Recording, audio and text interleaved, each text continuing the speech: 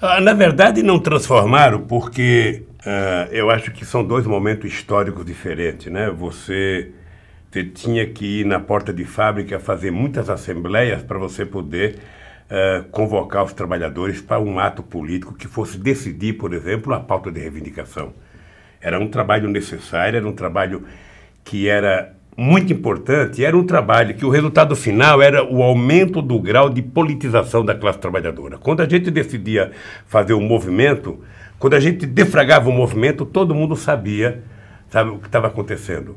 A, a, minha preocupação com a internet é que uh, quando você tem muita liberdade, tem muita liberdade, e você não sabe usar essa liberdade, você está jogando fora um espaço de conquista extraordinário.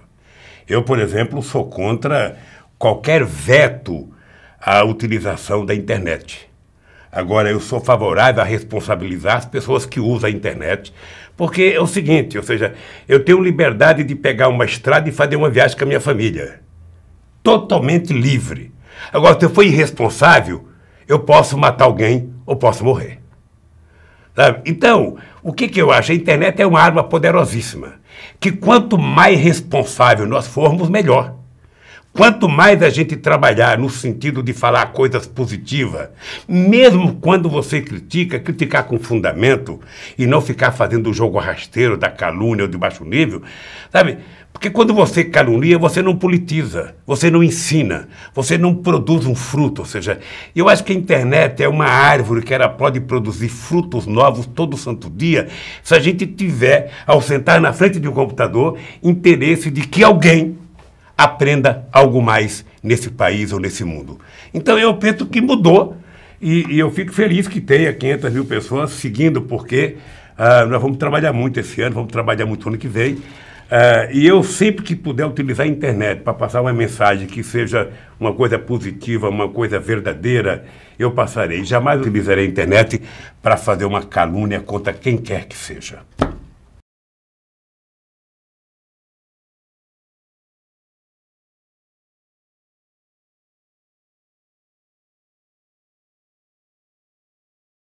Olha, eu, eu penso que pode trazer coisas extraordinárias essa liberdade da internet. Eu, eu volto à minha resposta anterior, ou seja, é, é preciso saber uh, se a gente vai saber utilizar corretamente a internet ou não. Para que, que eu quero a internet? É para fazer bobagem ou para aprender alguma coisa? É para fazer bobagem ou para ensinar alguma coisa? É para dar uma informação correta ou para dar uma informação incorreta? É para informar ou para desinformar? Eu tenho que decidir. Né? Ah, eu, eu, lembro que, que quando a mensagem era simplesmente escrita, uma vez eu fui na porta da empresa, eu descobri que os trabalhadores não conseguiam ler o boletim, jogavam o boletim antes de entrar na porta da fábrica. Eu fui descobrir que nós escrevíamos muito texto e o principal ficava no último parágrafo. Então o trabalhador lia aquilo, chegava na portaria, jogava fora e entrava sem saber o que a gente queria. Hoje, com a internet, não. Ou seja, ele pode saber por dezenas de e-mails aquilo imediatamente, com poucas palavras, ou seja, uh, uh, ter informação. Então, é tão sério, é tão responsável a internet, quanto mais liberdade, muito mais responsabilidade. Se a gente usar esse instrumento para o bem, nós cresceremos. Se a gente utilizar para o mal, nós iremos padecer, sabe? Afinal de contas, quem planta vento colhe tempestade. Então, é importante que a gente saiba utilizar corretamente. Tá, se tiver que criticar, critique, argumente, fundamente, sabe? Não precisa ficar com raiva de ninguém. E quando alguém lhe criticar também, sabe? Uh, aceite que isso faz parte da democracia que a internet permite a todos nós, todo santo dia, toda hora.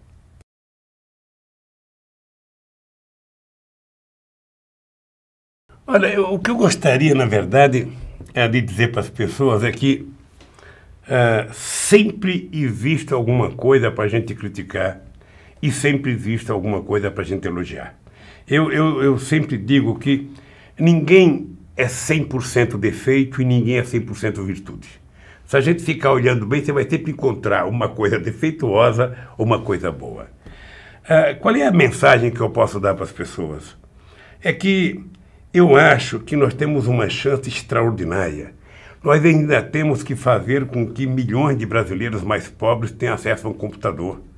Sabe, nós precisamos ainda trabalhar muito para que a gente consiga levar a banda larga para os 8 milhões e meio de quilômetros quadrados desse país.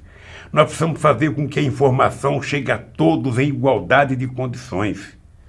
Sabe, eu, eu, eu quando eu era presidente da República, sabe, decidimos fazer isso. A Dilma está no esforço imenso para fazer isso. Certamente que não é uma coisa que a gente faz, sabe, é, tão rapidamente assim, mas o governo tem disposição. E eu gostaria que vocês ajudassem a fazer isso. Sabe? Ajudasse criticando, ajudasse apoiando, ajudasse mostrando os defeitos que existem, onde não está acontecendo. Porque a mensagem não é que eu quero que todo mundo fale bem do governo. A mensagem é que eu quero que todo mundo seja verdadeiro. Sabe? Seja para criticar ou seja para apoiar o governo. Sabe? É porque está acontecendo muita coisa boa nesse país. Eu às vezes fico triste porque eu vejo televisão Uh, começa de manhã, 6 e 15 da manhã, eu estou vendo televisão, o cara já fala assalto não sei aonde, morto não sei aonde, batida não sei aonde. Eu fico pensando, será que, que não nasceu uma criança hoje no Brasil? Será que ninguém foi bem atendido em algum lugar? Será que não tem uma coisa boa para a gente mostrar sempre os dois lados da moeda? Então a mensagem que eu dou é o seguinte, ó, não perca a esperança nunca. A humanidade sem esperança não vai a lugar nenhum. Não seja cético. Sabe? Não seja favorável sem saber, nem seja contra sem saber. Tente se informar para emitir sua opinião. Isso te ajudará muito a vencer a vida.